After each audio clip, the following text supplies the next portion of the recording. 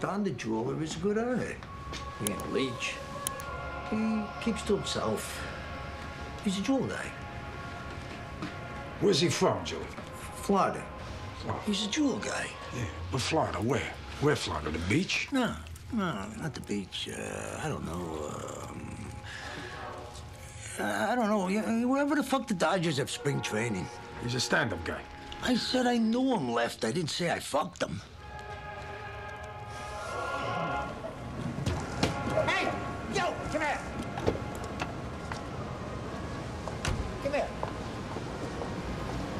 What's up, Joey? My friend Lefty's asking about you.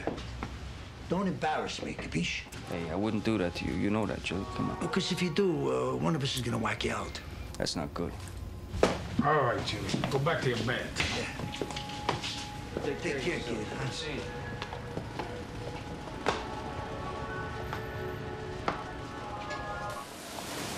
Okay, when I introduce you, I'm gonna say, this is a friend of mine.